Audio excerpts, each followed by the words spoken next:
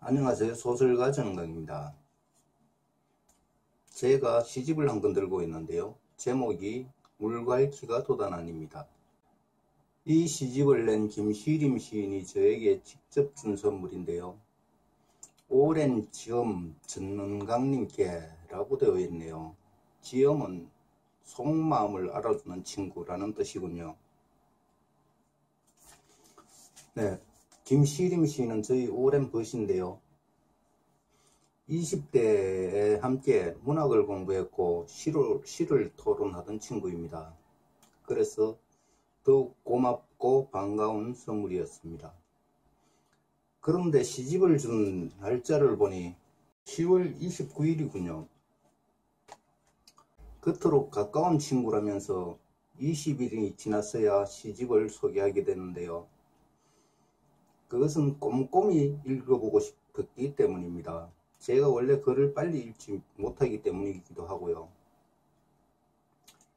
읽어보니 예전엔 모던한 시를 쓰던 분이었는데 지금은 서정성이 상당히 짙어져 있더군요. 자 그럼 시집 속으로 한번 들어가 볼까요? 가장 처음에 실린 시가 바람의 발자국이네요.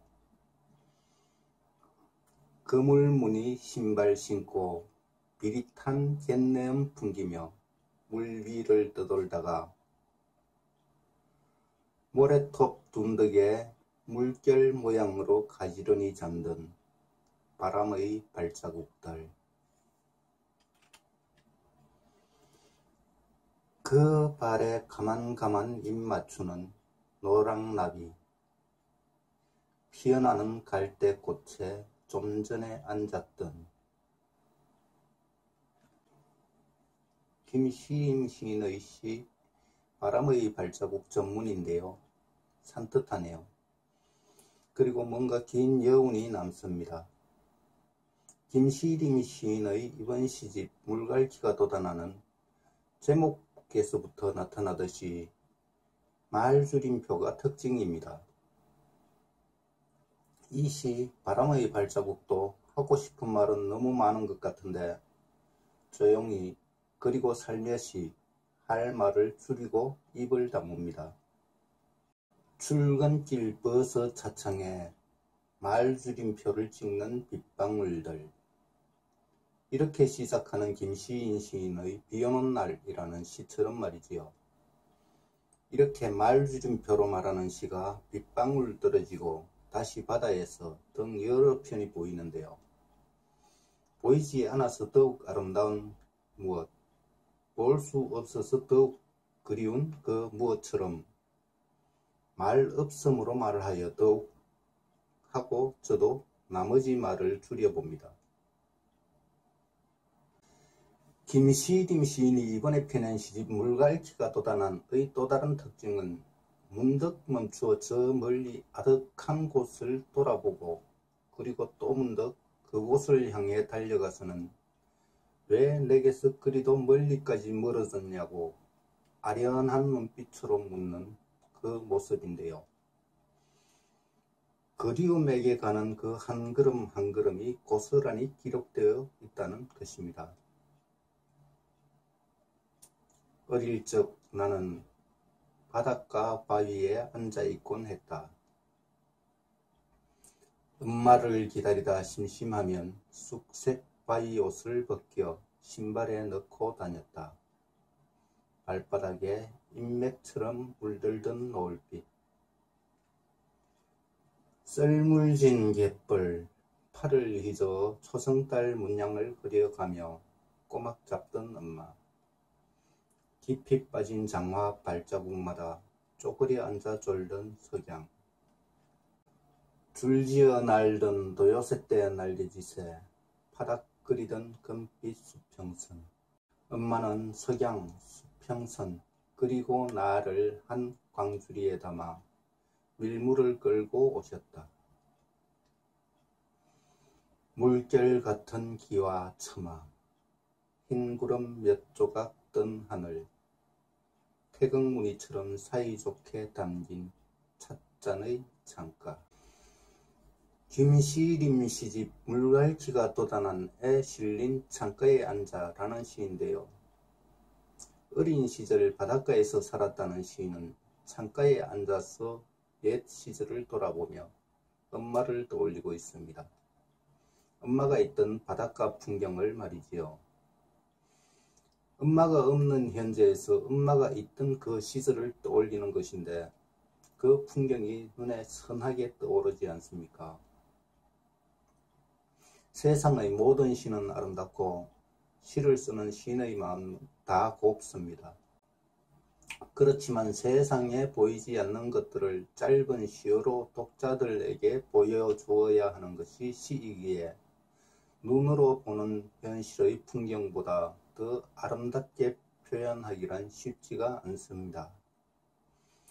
그래서 저는 시를 잘 쓰는 방법을 묻는 사람에게 느림을 권합니다. 밀란 쿤데라의 소설 제목이기도 한 그 느림 말입니다.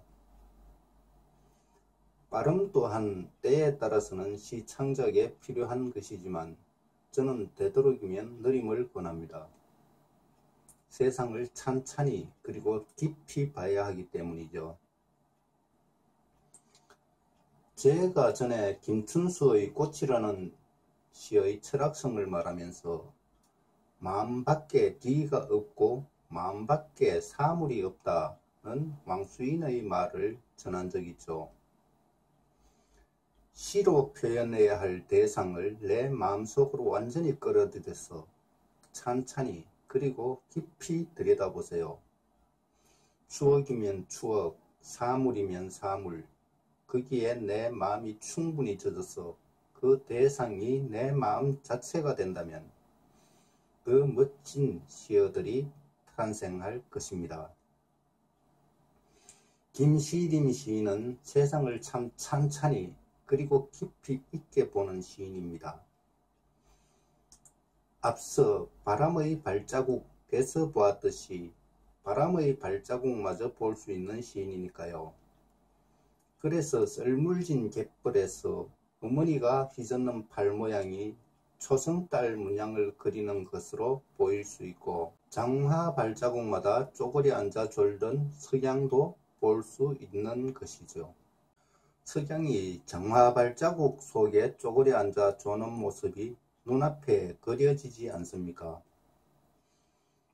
김시림 시인은 엄마는 크나큰 존재라는 것을 엄마는 석양수평선 그리고 나를 한광주리에 담아 밀물을 끌고 오셨다 라고 표현하고 있습니다. 석양, 수평선, 그리고 나를 담을 수 있는 큰 엄마의 광주리. 그것을 손에 든 채 밀물까지 끌고 오실 수 있는 엄마의 힘. 시인은 그것까지 보고 있습니다.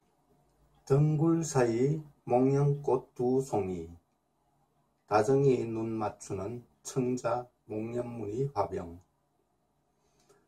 철마다 들꽃 한 송이씩 꽂아 두라던 아지랑이처럼 살랑거리는 내 말 오래전 어느 선상 썰물진 모래톱에 나란히 눈 조개 껍데기처럼 마음이 젖은 적이 있었던 우리. 모래결 같은 나를 맨발로 걷고 싶다던 가슴 뜨거웠던 너. 오늘은 찰박찰박 다시 민물져 왔음. 해초리 같은 매화까지 하나 끝내줄 것만 같은 화병을 앞에 두고라는 시 전문인데요. 이 시에서도 말줄임표의 시어가 사용됐네요.